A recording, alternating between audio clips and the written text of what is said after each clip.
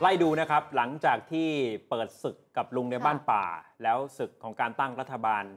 ลุงในบ้านป่าก็พ่ายแพ้ไปอืมไม่ได้เข้ามาเป็นรัฐบาลนะแต่อย่างที่บอกนิติสงครามอาจจะเพิ่งเริ่มต้นขึ้น นี่ขนาดว่าท่านนายกแพทองทานยังไม่ได้เริ่มปฏิบัติหน้าที่ยังไม่ได้แถลงนโยบายนะ แต่มีคำร้องจ่อรออยู่ ที่มีแล้วเนี่ยค่ะส่งไปถึงองค์กรอิสระแล้วก็มี และอาจจะมี มากกว่านี้ตามมาอีกเยอะ คืออาจจะมีเติมมาเรื่อยคๆรับนะคะ เรียกว่าเจอกับนิติสงครามอย่างเต็มรูปแบบตั้งแต่นี้เป็นต้นไป เอาเรื่องแรกก่อนอืมที่ปรากฏเป็นข่าวก่อนหน้าค่ะนี้ มือนิรนามใครก็ไม่รู้อืมนักสงวนร้องชื่อนามสกุลค่ะไปร้องว่าคุณทักษิณครอบงำพักเพื่อไทย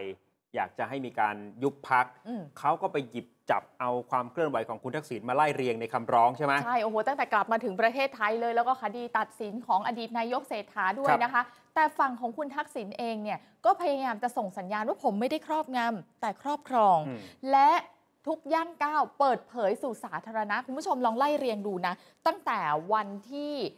เริ่มเริ่มมีข่าวว่ามีการร้องยุบพักเพื่อไทยนะคะ คุณทักษิณเนี่ยเข้าตึกชินวัตรบ่อยนะ ตั้งแต่วันที่ 20 สิงหาคมนะคะ ตอนนั้นเข้าไปก็เป็นวันประชุมสสประจำสัปดาห์เนี่ยแหละ เสร็จแล้วก็ขึ้นเวทีนะคะ โชว์วิสัยทัศน์วันที่ 22 คืนนั้นก็พูดหลายเรื่องเลย พอมาวันที่ 24 ข่าวคำร้องยุบพักเพื่อไทยจากบุคคลนิรนามเนี่ยปรากฏออกสื่อ แต่ยื่นจริงๆเนี่ยใบเนี้ยนะคะเขายื่นตั้งแต่ 19 สิงหาละ แต่เราเพิ่งจะเห็นเป็นข่าววันที่ 24 พอ 26 ก็เข้าตึกชินวัตร 3 อีกค่ะ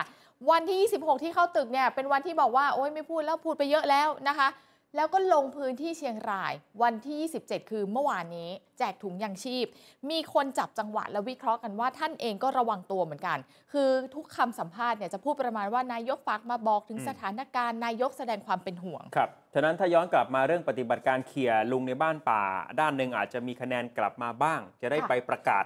ได้ว่ามีเพื่อไทยก็ไม่มีลุงเหมือนกันโอ้เหมือนกับที่พักก้าวไกลเขาเคย ใช้เป็นมอตโต้ในการหาเสียงใช่ไหมครับ แล้วค่ะเรื่องนี้ก็อาจจะเป็นกลยุทธ์ของผู้มีอำนาจตัวจริงในเพื่อไทยที่เคยเปรยกับคนใกล้ชิดเอาไว้หลายเดือน แต่ข่าวค้นไปรู้ล่วงหน้ามา แล้วฟันธงมาหลายเดือนแล้วว่า ครั้งนี้ลุงบ้านป่าถูกเขี่ยแน่อ่าคำถามเป็นแบบนี้ครับ คือมันสายไปแล้วหรือไม่ถ้าจะหวังคะแนนนิยมจากเรื่องนี้อืมที่สำคัญการดึงประชาธิปัตย์มาร่วมรัฐบาล ก็เป็นปมใหม่ที่พักเพื่อไทยก็ถูกด่าถูกวิจารณ์ ก็มีเรื่องใหม่อีกให้อยู่ถูกดีวิจารณ์อยู่ดีนะและการปิดสวิตช์ลุงไม่ง่าย เพราะกำลังจะเจอกับนิติสงครามชุดใหญ่ตามมาอืมอย่างแรกเรื่องของการครอบงำนำไปสู่การยุบพักยื่นโดยบุคคลนิรนามเมื่อสักครู่เล่าไปแล้วใช่และคำร้องล่าสุดครับ การตรวจสอบการถือครองหุ้นของนายกแพทองทานที่ยื่นโดยคุณเรืองไกรค่ะอธิบายแบบนี้คุณเรืองไกรส่งข่าวมาบอกว่า ได้ทำหนังสือ ส่งไปถึงคณะกรรมการการเลือกตั้ง อยากจะให้กกตเนี่ยตรวจสอบนายกรัฐมนตรีที่ทำหนังสือลาออกจากกรรมการบริษัทต่างๆ วันที่ 15 สิงหาคมเนี่ยจริงหรือไม่ ถ้าไม่จริงหรือมีการทำย้อนหลัง จะเข้าข่ายเป็นเหตุให้ความเป็นรัฐมนตรีของนายก สิ้นสุดลงเฉพาะตัวตามรัฐธรรมนูญมาตรา 170 วงเล็บ 5 ประกอบมาตรา 187 หรือไม่ ซึ่งเนื้อหาของสองสามมาตราที่มันโยงใยกันเนี่ย มันก็เป็นเรื่องของการถือหุ้น การไปเป็นลูกจ้างที่เขาเป็นคุณสมบัติที่ต้องห้ามเอาไว้ค่ะคุณเรืองไกรก็ไปอ้างอิงจากเอกสารที่สำนักข่าวอิสราเอามาโพสต์ ว่าคุณแพทองทานไปลาออกจากธุรกิจในเครือชินวัตรทั้งหมด 21 บริษัท หนึ่งในนั้นมีสนามกอล์ฟอัลพายด้วย นายกรัฐมนตรีทำหนังสือมอบอำนาจวันที่ 15 สิงหาคม แล้วก็ส่งผู้แทนไปยื่นจดทะเบียนกับกรมพัฒนา 19 สิงหาคม คือเกิดขึ้นหลังจากที่สารรัฐธรรมนูญวินิจฉัยให้นายกเอ่อเศรษฐาทวีสินเนี่ยค่ะพ้นจากตำแหน่งไปอืมกรณีการแต่งตั้งคุณพิชิตจำได้ใช่ไหมครับ แต่ว่าประเด็นอยู่ตรงนี้ คุณแพทองทานนายกโหวตวันที่ค่ะ16ได้รับพระบรมราชโองการโปรดเกล้าโปรดกระหม่อมเป็นนายกวันที่อ่า18 วันอาทิตย์ค่ะนะแต่ในหนังสือคำขอจดทะเบียนที่ส่งคนใกล้ชิดไปยื่นเนี่ย มันลงรับวันที่ 19 สิงหาคมอ๋อแต่ว่าในหนังสือก็มีข้อความท้ายเขียนเอาไว้ว่า ขอรับรองว่าผู้ขอจดทะเบียน ได้ลงลายมือชื่อต่อหน้าข้าพเจ้าจริง วันที่ 15 สิงหาคม ลงชื่อคล้ายๆกับเป็นนักกฎหมาย เขาเรียกเป็นสมาชิกวิสามันแห่งเนติบัณฑิตยสภารับรองว่าเขาลงลายมือชื่อวันที่ 15 พูดง่ายๆก็คือ มีผล ก่อนที่คุณแพทองทานจะได้โหวตวันที่ 16ค่ะแล้วก็มีผลก่อนที่จะได้รับการโปรดเกล้าอืมเป็นนายกวันที่ 18 แต่ว่าคุณเรืองไกลเขาสงสัย ว่าการที่คุณแพทองทานลาออกจากบริษัทต่างๆ วันที่ 15 มันจริงหรือไม่ เพราะถ้ามีการมอบอำนาจวันที่ 15 จริงทำไมไม่ไปจดทะเบียนเพื่อให้การลาออกมันมีผลเนี่ยตั้งแต่วันที่ 16อืมซึ่งเป็นวันศุกร์ซึ่งไปได้วันศุกร์วันนั้นสภา โหวตอืมคุณแพทองทานเป็นนายกค่ะคุณ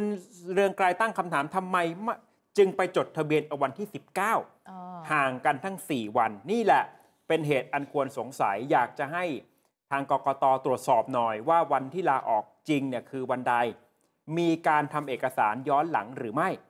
ถ้าตรวจสอบแล้วพบว่ามีการลาออกหลังจากวันที่ 16 สิงหา จะมีผลทำให้ความเป็นนายกรัฐมนตรีสิ้นสุดลง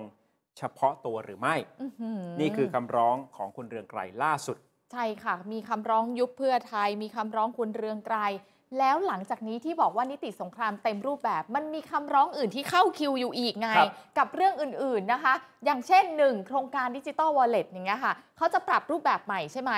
อะก็เดี๋ยวก็จะมีคำร้องว่าเข้าข่ายหลอกลวงประชาชนไหมเป็นโครงการไม่ตรงปกตามที่หาเสียงเอาไว้หรือเปล่า 2. เรื่องคุณสมบัติและลักษณะต้องห้ามการเป็นรัฐมนตรี ก็จะเริ่มทยอยถูกยื่นคำร้อง เขารอดูรายชื่อที่ชัดเจนก่อนพอเห็นชื่อปั๊บเอาละมีทั้งพวกหวังดีกับบ้านเมือง อยากให้ได้คนดีเด่นดังจริง ๆ หรือบางคนเป็นพวกอกหักอะค่ะ อกหักแล้วก็รอสอยแคนดิเดตรัฐมนตรี ตัวเองจะได้เป็นแทน มันมีทุกแบบอะค่ะ มีแน่นอนคำร้องนะคะ ตามมาด้วยปมคุณสมบัติรัฐมนตรี โดยเฉพาะมาตรฐานจริยธรรม อันนี้ก็ร้องได้ตั้งสองช่องทางเนี่ย ไปที่ปปชไต่สวนแล้วส่งสารดีกา หรือร้องไปทางสารรัฐธรรมนูญ อันนี้คือยื่นตรงก็ได้เลยเหมือนกันนะคะ หรือรอผลสารดีกาก็ได้เหมือนกัน ประเด็นที่น่าสนใจอยู่ตรงนี้ สมมุติว่าศาลเนี่ยรับ ไม่ว่าจะเป็นศาลดีกา หรือว่าศาลรัฐธรรมนูญ ก็จะมีคำสั่งหยุดปฏิปฏิบัติหน้าที่ตามมาด้วย ถ้าหากว่ายื่นตรวจสอบคุณสมบัติรัฐมนตรียื่นเข้าไปหลาย ๆ คน แล้วก็โดนสั่งหยุดปฏิบัติหน้าที่หลายคนด้วย แม้ว่าสุดท้ายจะรอดนะคะคุณผู้ชม ถ้าปลายทางรอด แต่ก็อาจจะทำให้การบริหารราชการแผ่นดินเนี่ยมันเกิดสุญญากาศไหม ในระหว่างที่หยุดปฏิบัติหน้าที่กันเยอะๆอะค่ะ แล้วพอเราย้อนกลับไปที่คดียุบพรรคนะ ซึ่งยื่นคำร้องไปแล้ว นักร้องนิรนามใช่ไหมคะคำร้องยื่นยุบพรรคนะ เอกสารที่ออกมายังไม่หมดไฮไลท์เนี่ยอยู่ที่คุณผู้ชมเชื่อไหมยุบทุกพรรคไฮไลท์อยู่ตรงนี้ อ้างเหตุการณ์ วันไปจัดตั้งรัฐบาลที่บ้านจันทร์ส่องหล้า โดยที่หัวหน้าพรรคเพื่อไทยอยู่ต่างประเทศ ในคำร้องนั้นนะคะ แล้วก็มูลเหตุอื่น ๆ ประกอบกัน ลองคิดดูนะ หากศาลรับวินิจฉัยมันจะกลายเป็นเรื่องใหญ่แค่ไหน สุดท้ายอาจจะไม่มีคอรมอบริหารราชการแผ่นดิน แล้วก็ต้นนูนนะคะ ให้ปลัดกระทรวงขึ้นมาปฏิบัติหน้าที่แทน อันนี้มันจะเป็นตามในของรัฐธรรมนูญมาตรา 168 นะสรุปคือเรื่องนี้เนี่ยอาจจะฟังดูเวอร์เกินจริงเนาะ แต่เมืองไทยอะมันประมาทไม่ได้หรอกค่ะ อะไรก็เกิดขึ้นได้ เราได้พูดคุยกับคนที่ยื่นคำร้องนี้มาแล้ว คุยวันนี้เลยแหละ เจ้าตัวก็เห็นว่าเป็นเรื่องใหญ่และมีน้ำหนัก ก็เลยปกปิดตัวเอง ปกปิดชื่อกลัวจะเป็นอันตรายครับค่ะ จะเห็นว่ามีคำร้อง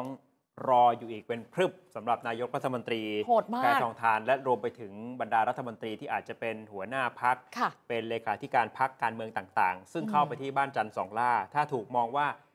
ครอบงำเนี่ยไม่ใช่แค่ครอบเพื่อไทย หมดเลย ครอบพักร่วมที่เข้าไปว้ายพูดคุยด้วยค่ะนะและหลายคนก็อาจจะเป็นรัฐมนตรีในอืมรัฐบาลชุดต่อไป จะมีคำสั่งหยุดปฏิบัติหน้าที่หรือเปล่าโหดเนอะมันจะเกิดสุญญากาศทางการเมืองไหมอันนี้เอ่อวาดภาพให้เห็นอืมกรณีเลวร้ายที่สุดก่อนที่แต่อย่าสุดงที่บอกมากว่าค่ะเมืองไทยการเมืองไทยหลายครั้งมันก็มีเรื่องเหนือความคาดหมายมาตลอดจริงค่ะนะครับส่วนที่ยังประมาทไม่ได้เช่นกัน คือความเคลื่อนไหวจากสายบ้านป่าอืมปรากฏว่าพรุ่งนี้ เขาจะมีการประชุมกรรมการบริหารพักอะนะมีหนังสือออกมาด่วนเลยค่ะจากหัวหน้าพักพลังประชารัฐเนี่ยนะครับ เรียกประชุมตั้งแต่9นาฬิกา30 นาทีในที่ทำการของพักพลังประชารัฐ แต่ว่าอืมมีคนออกมาอธิบายแล้วว่าความรู้สึกของหัวหน้าพักของลุงป้อมหรอเป็นอย่างไร เป็นอย่างไรเสียจ็อบสามารถเจนชัยค่ะจิตวานิชครับเขากลับมาแล้ว เอาประเด็นแรกก่อนนะ คือผู้สื่อข่าวก็ถามเออสองปมอะปมที่ ลุงป้อมไม่ได้ไปโหวตนะอันนั้นก็เข้าใจได้แหละว่าติดภารกิจอืมจัดเลี้ยงต้อนรับนักกีฬาอะไรก็ว่าไปอ่าใช่ไหมครับ กับอีกปมหนึ่งที่เขาเชื่อว่าลุงป้อมอยู่เบื้องหลัง 40 สว ในการสอยนายกเศรษฐา คุณสามารถบอกว่าอาจจะเข้าใจได้ว่าพลเอกประวิตยเป็นปฏิปักษ์แต่คุณสามารถมองว่าพักการเมืองอื่นน่าจะเป็นปฏิปักษ์มากกว่านะ ไม่เคยมาโหวตให้เลยเออในรอบของคุณแพทองทาน งดออกเสียงทั้งหมดค่ะแต่กับพลังประชารัฐเนี่ยโหวตให้ 39 คน แต่พักนั้นเขาได้มาเป็นรัฐบาล คุณสามารถเลยบอกว่าเนี่ยมันไม่ไม่เป็นธรรมไม่แฟร์ก็หมายถึงประชาธิปัตย์นั่นแหละ เพราะใช่ว่าประชาธิปัตย์เนี่ยโหวตงดออกเสียงให้กับคุณแพทองทานค่ะส่วนลุงป้อมเป็นอย่างไรบ้าง คุณสามารถบอกว่าดูท่านก็อารมณ์ดียังดูดไปอยู่อืมเมื่อวานลุงป้อมดูข่าวแล้วก็ไม่ได้เครียดอะไรอะลองฟังคุณสามารถดูครับคือประเด็นอย่างนี้ครับ เขาก็เข้าใจไปแบบนั้นว่าลุงป้อมเป็นปฏิปักษ์ แต่ข้อเท็จจริงแล้ว ผมว่าพรรคการเมืองอื่นน่าจะเป็นปฏิปักษ์มากกว่านะครับ เพราะไม่เคยโหวตให้เลย ในรอบของคุณนุ้งอิงเนี่ยงดออกเสียงทั้งพรรคแต่ของพรรคพลังประชารัฐโหวตให้ตั้ง 39 คน คือผมคิดว่าเรื่องนี้ไม่เป็นธรรมลุงป้อมก็ดุดไปฮะอารมณ์ดี ดุดไปครับ อย่างเมื่อวานนี่ก็ยังดูข่าวก็เห็นฮะท่านไม่ได้เครียดอะไรหรอกครับ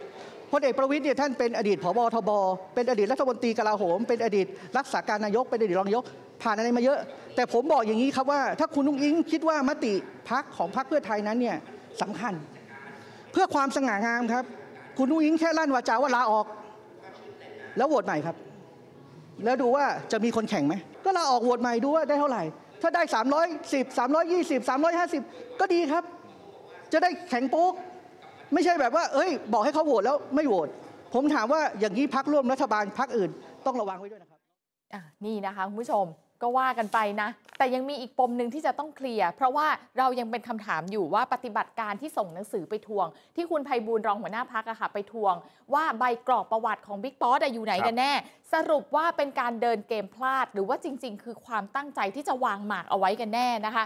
เป็นการวางงานเตรียมสอยเพื่อไทยหรือเปล่า เราพยายามติดต่อไปยังคุณไพบูลนิติตะวันค่ะ ซึ่งตั้งแต่เมื่อวานเนี่ยคือปฏิเสธให้สัมภาษณ์สื่อทุกสำนักนะ นัดไว้โทรศัพท์ไปก็เขายกเลิกนัดนะคะ ล่าสุดวันนี้โทรไปอีกค่ะ จากนักข่าวที่คุ้นเคยกับคุณไพบูลปรากฏว่าคุณไพบูลรับสายค่ะ แล้วก็ออกตัวก่อนนะว่าโอ้โหช่วงนี้ไม่ได้รับสายใครเลย ไม่อยากให้สัมภาษณ์เลย แต่ที่รับสายทีมข่าวค้นเพราะว่าเราคุ้นเคยกันแล้วก็เกรงใจกันนะนะจากนั้นก็เลยสอบถามไปถึงเบื้องหลังการออกหนังสือทวงเก้าอี้รัฐมนตรี ถามตรงๆ ผิดพลาดหรือเปล่าคะ หรือว่าวางงานกันแน่ ปรากฏว่าคุณไพบูลยืนกรานอย่างเดียวเลยค่ะว่า ไม่ขอให้สัมภาษณ์แล้วเขาก็วางสายไปเลยนะ จุดสังเกตมันอยู่ตรงนี้คุณผู้ชม คือถ้าปฏิบัติการนี้เนี่ยไม่มีเบื้องลึกเบื้องหลังอะไรเลย คุณไพบูลน่าจะปฏิเสธแบบเป็นทางการว่า อุ้ยมันไม่เกี่ยวมันไม่ใช่การวางงานล้มรัฐบาล ผมจะไปทำอย่างนั้นได้ยังไง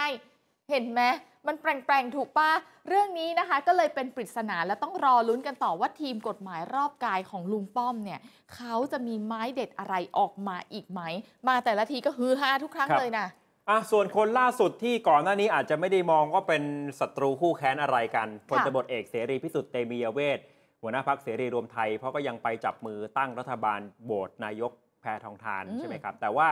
พอข่าวการตั้งรัฐมนตรีครั้งนี้ออกมา ไม่มีชื่อท่านเสรีพิสุทธิ์ค่ะก็ทำให้ท่านเสรีพิสุทธิ์รู้สึกต้องทวงบุญคุณอืมแล้วก็รู้สึกว่าถึงจุดแตกหักแล้วไม่ไหวละนะท่านบอกว่าเดี๋ยวพรุ่งนี้อืมจะมีแถลงข่าวที่เอ่อ พักเสรีรวมไทยโอ้แต่วันนี้ท่านมาคมชัดลึกค่ะก็เลยเปรยๆประเด็นที่จะบอกค่ะเช่นถ้าพูดถึงเรื่องชั้น 14 เนี่ยอืมท่านขู่เร็วมีคนจะติดคุกว้ายอะลองทางฟังท่านเสรีพิสุทธิ์ดูครับ ยังไม่ได้พูดเลยบนชั้น 14 มีอะไรบ้าง ถ้าผมพูดชั้น 14 มีอะไรบ้างนะเผลอๆหนึ่งจะรอดเผลอๆจะติดคุกกันหมดจะเอาแบบไหนคที่เกี่ยวข้องทั้งหลายจะเอาแบบไหนใช่ไหมนะถ้าพูดไป ในทางลบโอติดคุกเลยตั้งแต่รัฐมนตรียุติธรรมมาหมดนะครับนะเพราะพวกนี้เหลิงกันทั้งนั้นนะโอ้พันตำรวจเอกไม่เห็นหัวพลตำรวจเอกแล้วนะครับฉะนั้นถึงเป็นรัฐมนตรีมีนะครับรวมรัฐบาลพลตำรวจเอกก็ไม่มีความหมาย เข้าใจใช่ไหมพันตำรวจเอกเข้าใจคือใครรู้ละไม่เห็นไม่เห็นเขาหัวพลตำรวจเอกเขาระบุตำแหน่งแล้วค่ะเอ่อเมื่อสักเดี๋ยวครู่ท่านเสรีพิสุทธิ์บอกว่าจะแถลงพรุ่งนี้ค่ะเอาแบบละเอียดจะเปิดหลักฐานหลักฐานอะไร ก็อืมเดี๋ยวรอดูนะ มันจะมีน้ำหนักอะไรมากน้อยขนาดไหน ผมก็ถามอีกปมหนึ่ง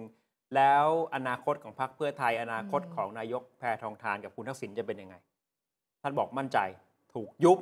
ฮะเพ ราะว่าบทบาทของคุณทักษิณที่เข้าไปครอบงำพรรคเพื่อไทยปมนี้เห็นไหมเลยเหรอพอถอนตัวจากการเป็นพรรคร่วมรัฐบาลแป๊บเดียวเท่านั้นอะแตกหักทุกประเด็นใช่แล้วก็มั่นใจในข้อกฎหมายทุกเรื่องอะลองฟังท่านโอ้เสยรีโหดพิสุทธิ์อีกทีหนึ่งครับทักษิณก็เขี่ยวการเมืองเนี่ยอืมใช่ไหมอ้าวในเมื่อกูมีอำนาจจัดตั้งรัฐบาลได้ ถามว่าทักษิณเนี่ยเข้ามายุ่งได้ไหมบุคคลเคยต้องโทษถูกจำคุก ไม่สามารถ เป็นแม้กระทั่งสมาชิกพรรคเพื่อไทยได้ แล้วพฤติกรรมเป็นไงอย่างที่เห็นน่ะใช่ไหมเข้ามายุ่งนู่นยุ่งนี่ยุ่งนั่นเดี๋ยวก็โดนยุบเชื่อผมเถอะนะแม้กระทั่งจะจัดรัฐบาลยังไปบ้านจันทร์สองล่าหมดนะ ผมยังไม่ยอมไปเลย เพราะผมรู้ใช่ไหมผมรู้กฎหมายแต่ผมไม่ไปไอ้พวกพักบ้าบอต่าง ๆ ไปหมดเนี่ยนะ ไปซ่องสุมกันนะ ให้คนที่ไม่มีอำนาจมาครอบงำ เดี๋ยวรอดูท่านจะแถลงข่าวถอนตัวจากการเป็นพักร่วมรัฐบาลอย่างเป็นทางการวันพรุ่งนี้ ค่ะ 10นาฬิกา30 นาทีที่พักเสรีรวมไทย ตื่นเต้นต้องครับ แซ่บมากแน่นอนนะคะ